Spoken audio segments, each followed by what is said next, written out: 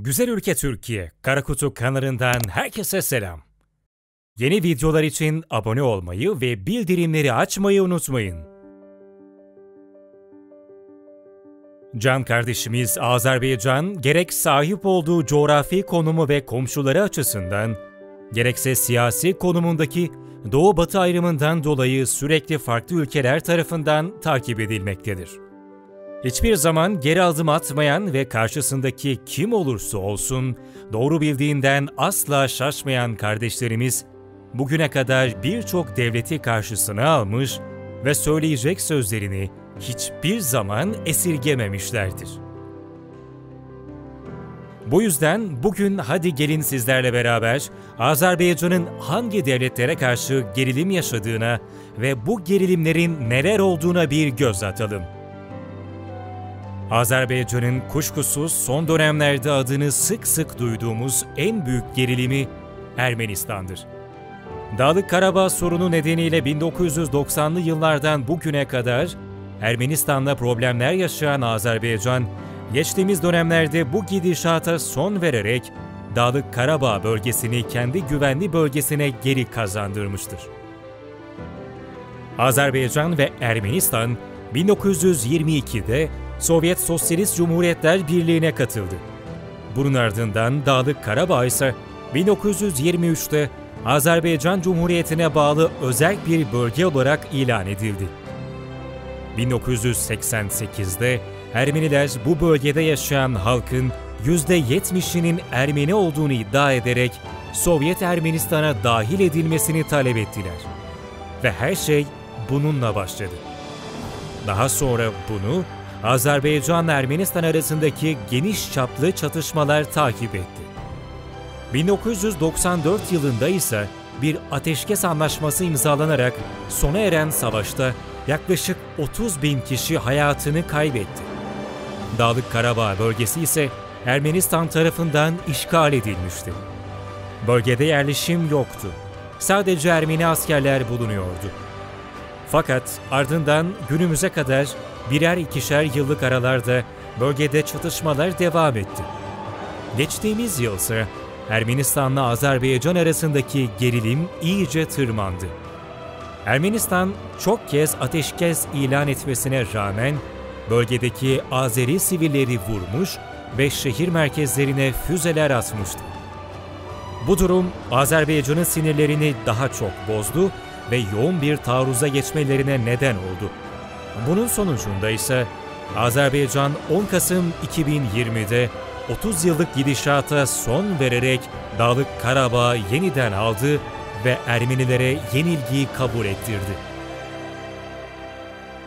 İran savaş gemileri 2001 yılında Hazar'ın Azerbaycan sınırındaki bir petrol gemisinin işleyişine müdahale etmiştir. Kısa bir süre önce ise İran savaş uçakları Bakü'ye kadar yaklaşmıştır. Her iki ülke arasındaki gerilim, Türkiye'den gelen sert açıklamalar ve Türk savaş uçaklarının Bakü'de gösteri yapması üzerine son bulmuştur. Daha sonra ise Azerbaycan, savaş helikopterleri de İran sınırını geçerek uçuş yapmış ve Azerbaycan tarafından İran'a karşı bir mesaj verilmek istenmiştir. Daha sonra 2009-2012 yılları arasında İran'ın Azerbaycan Mossad'a destek veriyor bahanesiyle sürekli Azerbaycan'a nota vermesi gerilimi tırmandırmıştır. Bunun üzerine Azerbaycan da ard arda düzenlenen operasyonlarla İran'ın özel istihbarat birimi Sepah ve Hizbullah teşkilatlarının üyelerini gözaltına almış ve bazı İranlı din adamlarını etkisiz hale getirmiştir. Aradan 4 sene geçtikten sonra İsrail Başbakanı Azerbaycan'ı ziyarete gelmiştir. Bir bahane arayan İran ise İran Savunma Bakanı aracılığıyla Azerbaycan'ın İsrail'e yaklaşmasına tahammül edemeyiz şeklinde bir açıklamada bulunmuştur. Bunun üzerine ise Azeri milletvekili Kudret Hasan Guleyev, İran Azerbaycan'a karşı böyle tehditkar tavırlar takınmaya devam ederse, İran haritadan silinir şeklinde çok büyük ve korkusuz bir laf etmiştir. Daha sonra ise Azerbaycan Milli Meclis Başkanı Oktay Esadov, daha diplomatik ve ılımlı bir dille açıkça İran'ın ne kadar büyük bir devlet olursa olsun Azerbaycan'ın iç işlerinde hiçbir söz hakkının bulunmadığını ve böyle bir tavrın hoş karşılanmayacağını dile getirmiştir. Fransa son dönemlerde gerek Müslüman alemiyle ilgili söylemleri, gerekse Karabağ'ın bağımsızlığı gibi konularda yanlış kararlar alarak Azerbaycan'ın tepkisini çeken bir başka devlettir. Azerbaycan geçtiğimiz yıl Fransa'nın ulusal meclisten geçirdiği Avrupa ve Doğu'nun Hristiyan toplumları ve Ermeni halkının korunması kararına ilişkin protesto notası verdi. Azerbaycan açıklamasında Fransa Ulusal Meclisi'nin kararının Birleşmiş Milletler şartı, Heliniski Nihai Senedi, Birleşmiş Milletler Güvenlik Konseyi'nin 1993 tarihli ilgili kararlarına ve uluslararası hukuk normlarına ters düştüğünü belirtmiştir. Bunun dışında Fransa'nın Azerbaycan'ın ilk savaşta yenildiğini hatırlatarak sadece 5 ille yetinmesi yönünde söylemlerine Azerbaycan Cumhurbaşkanı Aliyev düşmanı topraklarımızdan kovduk ve yeni bir gerçeklik yarattı. Herkes bu gerçekliği kabullenecek diye cevap vermişti. Sonrasında ise eklemeler yapan Aliyev, Fransa Senatosu'nun Dağlık Karabağ'ın bağımsızlığının tanınması yönündeki çağrısına ise hiçbir gücün kendi topraklarından çıkmalarına talep edemeyeceğini belirterek binlerce kilometre uzaklıktaki ülkeler konuyu tartışıyor. Fransa Senatosu'nun bizim meselemizde ne ilgisi var? Fransa Agit Minsk grubunun eş başkanı. Bugüne kadar bir taşı taş üstüne koydu mu? Sorunun çözümü için bir adım attı mı? Çok istiyorlarsa versinler Marsilya'yı, Ermeniler orada kendilerine devlet kursun. Söylemleriyle dünya gündeminde yankı uyandırmıştı. Son olarak ise Azerbaycan Cumhurbaşkanı İlham Aliyev, Ermenistan'ın işgalinden kurtarılan bölgedeki Hristiyan mabetleriyle ilgili bazı batılı ülkelerin endişe duyduğunu belirterek, camileri kapatanlar mı bizi eleştirecek? Camilere domuz kafası atanlar mı bize ders verecek ve endişelerini bildirecek? Bize herhangi bir endişe bildirmelerine gerek yok. Tüm tarihi eserlerimiz devlet tarafından korunmaktadır şeklinde bir konuşma yapmıştı. Azerbaycan bunun dışında işbirlikleri yolunda görünse de Gürcistan'la da bazı sorunlar yaşamıştır. Bu sorunların temelinde Rusya ile arası bozuk olan Gürcistan'ın son dönemlerdeki aşırı tutumları yer almaktadır. Bu sorunlardan bir tanesi de sınır sorunudur. David Gerezci Manastırı Gürcüler ve Azeriler için önem teşkil edip sınırı ayıran dağların arasında kalmaktadır.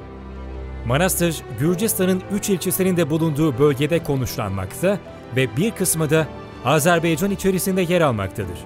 Asıl sorunsa yapının Gürcistan'a ait olması iddiasına karşın Azerbaycan'ın manastırın Albanya döneminde inşa edilen keşikçi yaptığı olduğu konusundaki cevabıdır.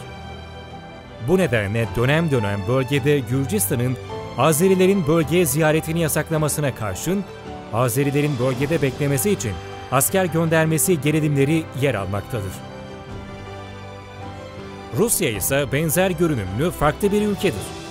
Rusya ile Azerbaycan ilişkileri genel olarak iyi tutulmaya çalışılsa da geçmişten gelen güvensiz ilişkilere yansımaktadır. Öyle ki Rusya'nın Karabağ Savaşı sırasında Ermenistan'a mühimmat göndermesi Azerbaycan hükümetinin kafasında soru işaretleri oluşturmuştur. Bunun üzerine Cumhurbaşkanı Aliyev Putin'i arayıp bu konuyu dile getirmiştir. Anlaşma sırasında Azerbaycan açıkça sadece Rusya'nın anlaşmada ve güvenli bölgede bulunmasından duyduğu güvensizliği dile getirerek Türkiye'nin de bu aşamalarda işin içine dahil olması gerektiğini savunmuştur. Cumhurbaşkanı Aliyev, Rusya Başbakanı Putin'e Türkiye'siz olmaz. Türkiye olmazsa o kağıt parçası çöptür ifadelerini kullanmıştır. Böylece açıkça Rusya'nın bu savaşta tutunduğu tavır eleştirilmiş ve tam anlamıyla güvenilmeyen bir devlet olduğu vurgulanmıştır. Amerika Birleşik Devletleri ise 1990'lı yıllarda Azerbaycan'ın Ermenistan'a saldırdığı bahanesiyle özgürlükleri destekleme yasasına 907 sayılı ek maddeyi uygulamaya sokmuş ve Azerbaycan'a yardımları engellemiştir. 1994'ten itibaren Amerika, Azerbaycan petrollerini fark edince buna yönelik anlaşmalar imzalamak istemiştir. 2015 yılında ise Azerbaycan Milli Meclisi'ne Amerika ile tüm ilişkilerin kesilmesi için bir yasa tasarısı sunulmuştur. Dönemin milletvekili Roshan Razavey'in hazırladığı yasa tasarısında insan hakları ihlallerine, yolsuzluklara göz atılarak Amerikalı bazı yetkililerin Azerbaycan'a girişinin yasaklanması ve Azerbaycan'la Amerika arasındaki ilişkilerin durdurulması tavsiye edilmiştir. Bu son Dağlık Karabağ sorununda tarafsız gibi görünmeye çalışan Amerika ise Ermenilerin Azerbaycanlıların yaptıklarına karşı kendilerini savunabileceklerine dair umutluyuz lafının üzerine Türkiye'nin Azerbaycan desteğini eleştirirken çekinmemişlerdir. Amerika'nın Türkiye'ye Rusya'dan S-400 hava savunma sistemlerinin alımı nedeniyle yaptırım uygulama kararına ise kardeş ülke Azerbaycan'dan tepki gecikmemiştir. Cumhurbaşkanı Aliyev, Amerika'nın yaptığının bir hukuksuzluk ve çifte standart göstergesi olduğunu belirtmiştir. Görüldüğü üzere Azerbaycan hiçbir ülkeyle irili ufaklı çokça gerilim yaşamıştır. Bu gerilimlerin bazıları sınır çatışmalarından bazıları ise büyük devletlerin güç göstergeleri ve siyasal çıkarlarından kaynaklanmaktadır. Ama can kardeşimiz Azerbaycan hiçbir zaman haksızlığa karşı boyun eğmemiş ve Türk'ün gücünü Kafkaslarda da bütün dünyaya duyurmuştur. Yeni videolar için abone olmayı ve bildirimleri açmayı unutmayınız. Türkiye'nin Kara Kutusu